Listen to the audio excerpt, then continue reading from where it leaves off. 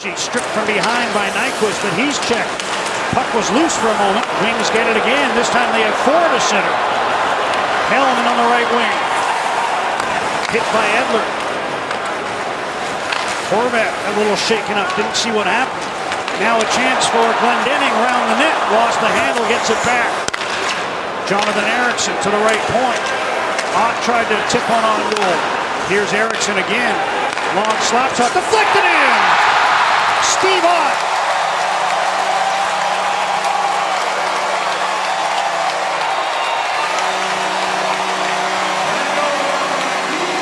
Under five minutes to go, and the Red Wings are back up by two. Well, the Canucks are saying the Red Wings had six guys on the ice. And there's Willie Desjardins looking for goaltender interference. There was no goaltender interference. This is a high tip, and it goes by Ryan Miller.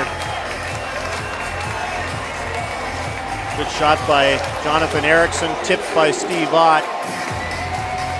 No chance for Ryan Miller on that one. It was a curious change, wasn't it? It was a, a strange, strange change. Could have been called too many men on the ice. There's no doubt about that, but the officials decided not to call it.